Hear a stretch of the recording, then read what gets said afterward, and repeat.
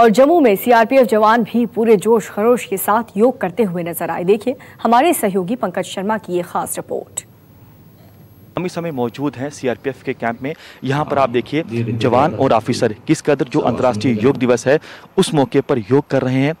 योग जो है इनके लिए बेहद ही ज़रूरी रहता है क्योंकि मानसिक जो तनाव है वो कम होता है। ये जवान देखिए ऑफिसर देखिए किस कदर यहाँ पर योग किया जा रहा है। जो इनका शरीर है वो स्वस्थ रहता है। हालाँकि इन्हें कम समय मिलता है लेकिन जब भी समय मिलता है इसी तरह से योग जो है ये करते हैं। और ये तस्वीरें देखिए बेहद खास हैं बेहद महत्वपूर्ण है क्योंकि ये वो बहादुर जवान और ऑफिसर हैं जो कि देश की आन बान और शान को बनाए रखने के लिए 24 घंटे तैनात रहते हैं मौजूद रहते हैं। और ये देखिए योग जो है यहाँ पर किया जा रहा है। तमाम अलग अलग तरह के आसन जो है वो यहाँ पर किए जा रहे हैं।